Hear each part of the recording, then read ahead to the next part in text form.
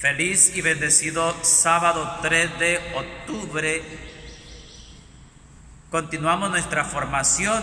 Estamos al final de la obra del hombre. Después de haber revisado algunos fallos que hay en nuestra vida, tenemos que decir que es de sabios rectificar.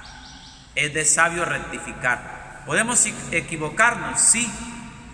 Toda tu vida es y seguirá siendo así, caer y levantarte. Entonces nos preguntaríamos, ¿no será posible llevar una vida nueva? ¿No es posible entonces la santidad?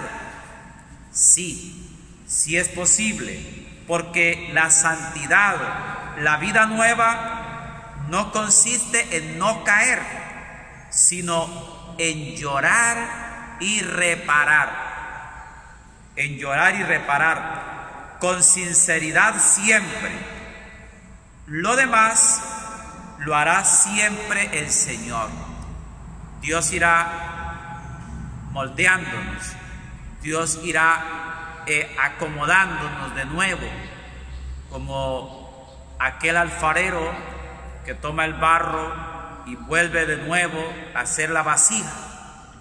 Eso, en eso consiste. Es de sabio rectificar. Lo importante no es decir, bueno, pues como estamos pecando, como estamos obrando mal, pues ¿para qué voy yo a hacer esfuerzo?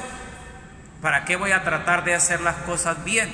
Si al final voy igual a seguir pecando, entonces eso no sería rectificar. Es darnos cuenta que hay cosas que están mal en nuestra vida y hay cosas que hay que corregir. Por lo tanto, cuando comenzamos esa corrección, ya estamos caminando hacia la nueva vida, estamos caminando hacia la santidad. Que el Señor nos ayude a rectificar las cosas que no están bien dentro de nosotros.